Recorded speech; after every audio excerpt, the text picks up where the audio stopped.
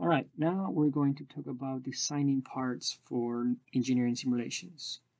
So a lot of parts, a lot of times you want to create parts to manufacture or to 3D print, but you're not quite sure what's the best thickness or the best length.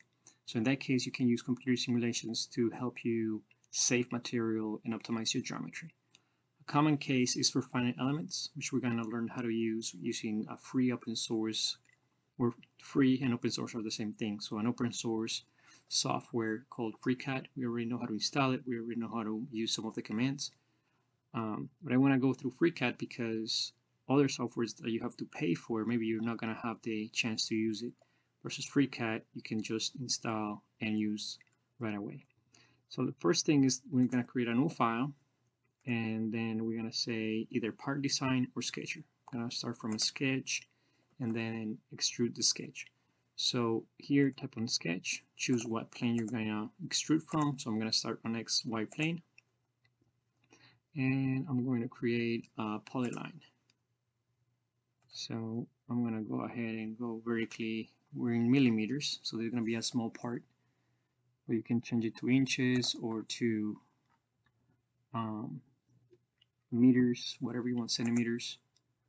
Okay, so we're gonna go and create the part like so. And then we can do our um, constraints. So this one is going to be 100. Okay. This one is going to be 100 as well. And this one is going to be 200 uh, it's not letting me. Let's see. It's not letting me change to 200 is because I have already some constraints here.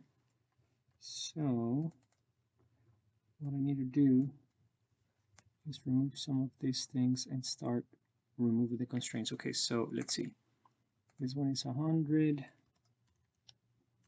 enter this one is 20 right? So let's confirm. This one is 20 there you go. And this one is 80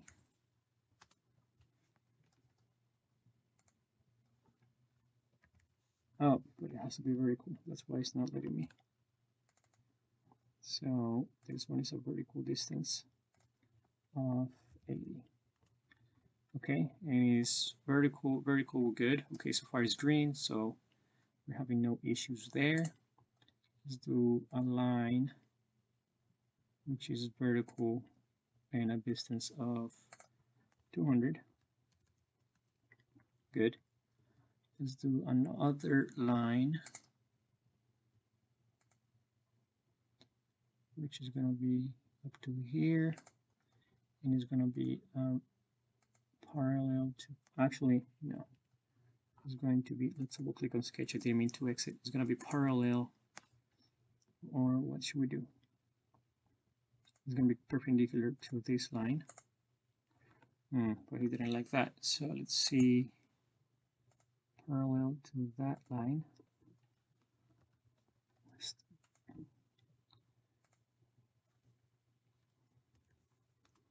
hundred. Okay, that's full. That's a good constraint. So the distance is good enough. Let's see another line, and that line is going to be 20.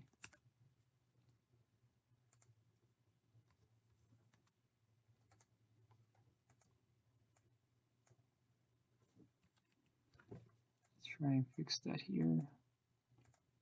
What's going on? Let's remove this constraint and try and do it again. So I need a line to be horizontal distance of 20.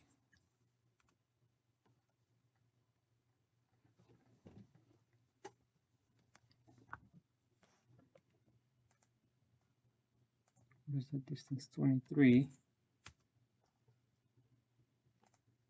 remove that. Ah, there you go. It's assigning constraints that I didn't mean to put.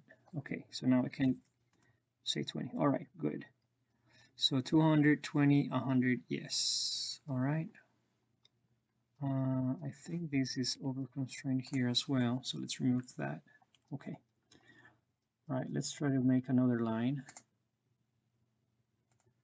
And this one is going to be 80.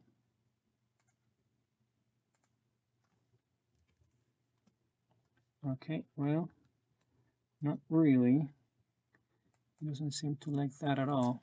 So you have to get used to you you have to get used to using these constraints. Let's go ahead and use a line here, which is going to be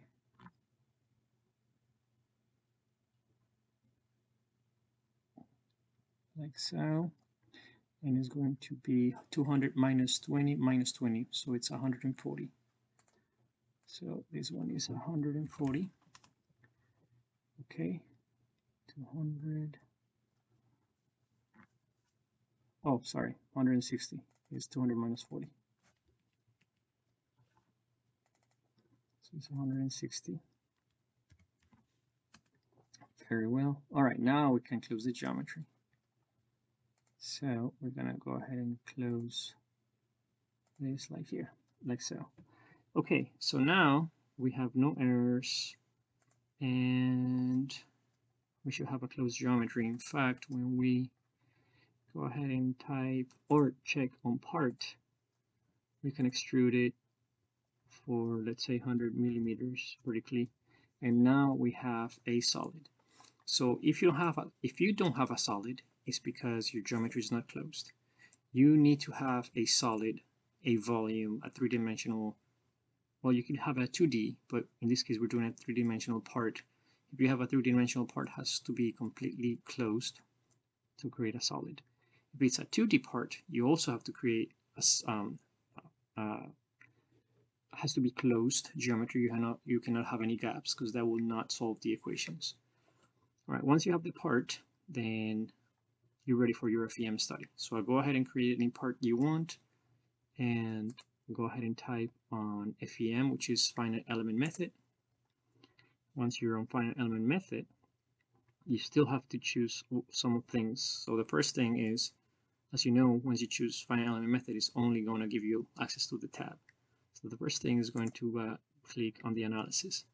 The analysis is going to bring a solver, which is the end, is the last step the first thing is going to be create a material. So we're going to assign a material right now. There's no material on this volume. So let's say we want to 3D print this part and we want to know if it's going to be a good support. So we're going to create a plastic ABS. And since it's already built in, the properties are here.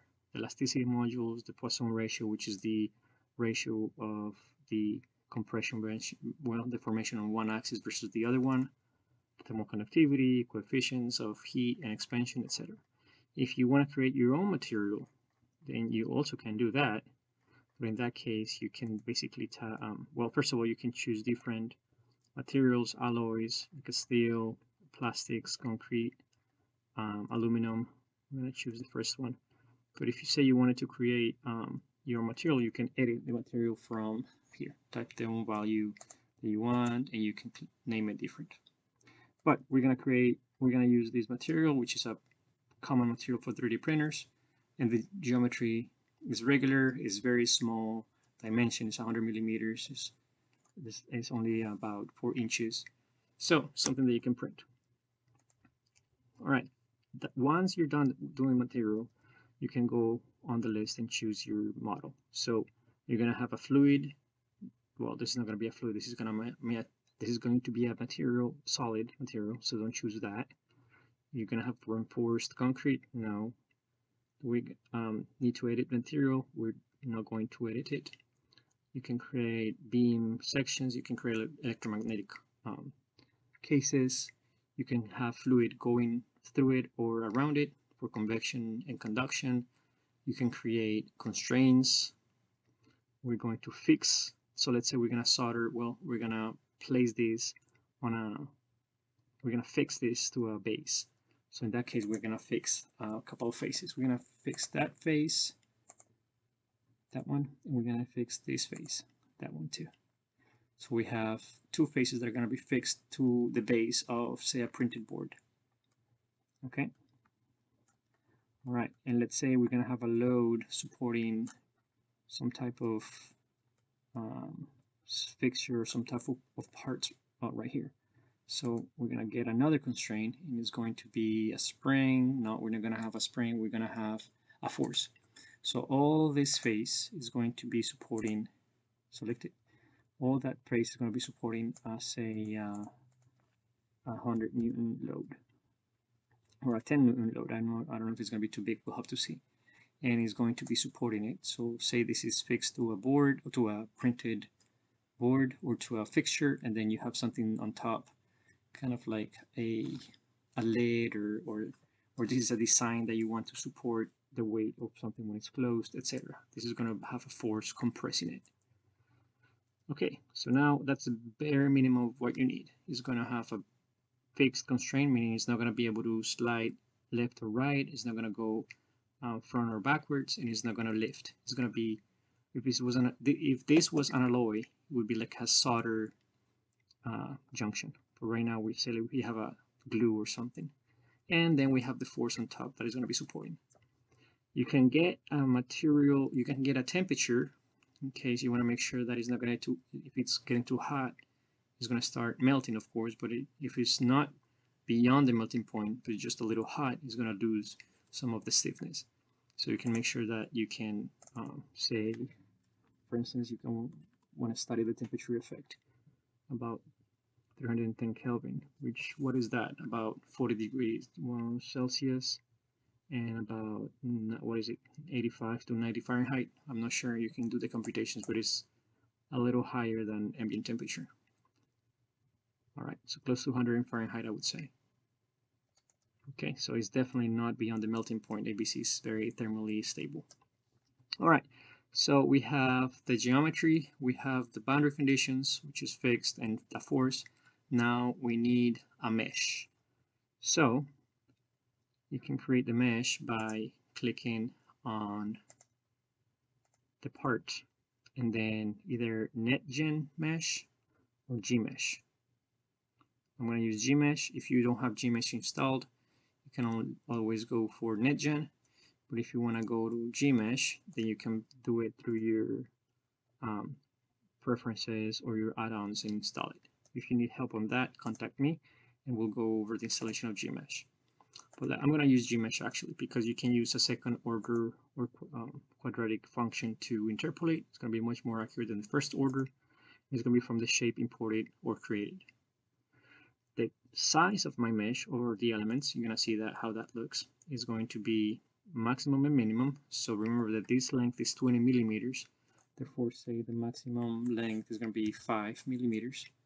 Obviously, it has to be smallest that you're bigger that it has to be the maximum element has to be smaller than your smallest edge this edge is 20 millimeters so let's say 5 should be enough uh, actually 10 should be enough because it's 20 and the minimum we don't want to make it too uh, computationally intensive. So let's say 5 if you go 0 0.1 0 0.2 it could take a few hours to mesh. Okay so let's say okay in um, actually we need to say apply first. And it's gonna do the mesh. Yeah this is a pretty coarse mesh. It's gonna be it's not gonna be a very nice solution but just to show you the workflow. If you go smaller here the mesh is gonna be much more defined more uh, refined and you're gonna have a more accurate solution. But this is to show you the workflow. So I'm gonna say okay this is a not an okay mesh but uh, probably will solve. So if you do it, if you follow me, you can make sure that you follow the workflow, but for your product, definitely get much more finer mesh, or like maybe even less than a millimeter as your minimum size and definitely around one, two millimeters for your maximum size.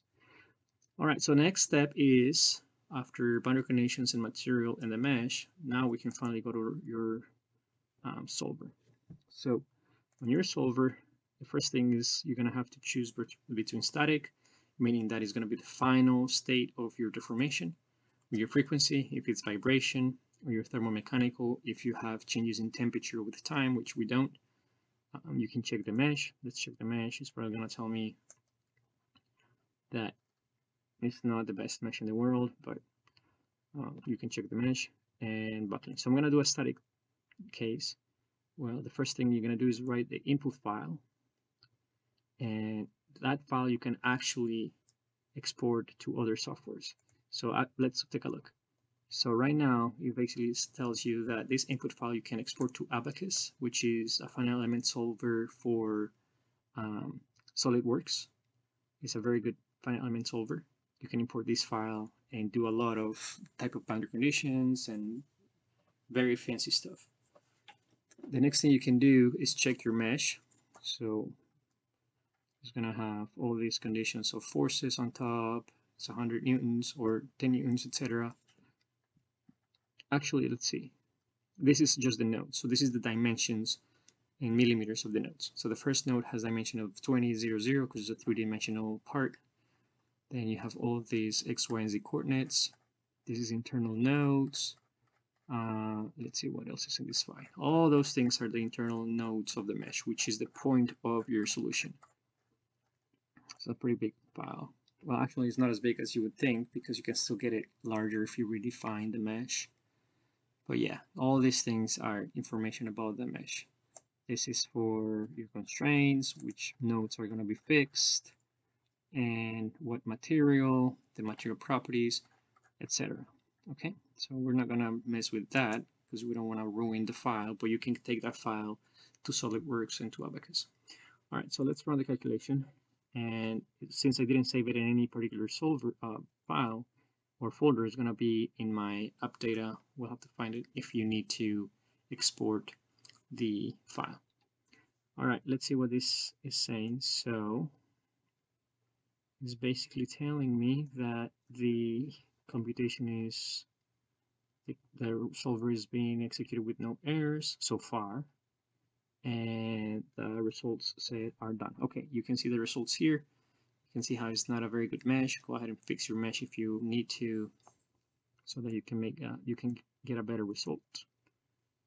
All right, on your on your results, you basically have your displacements, meaning how much your node your your geometry deformed. Okay, kind of like here. Obviously, since you have no supports in the middle, this is going to be deforming kind of like a U shape deformation where the maximum is in the middle.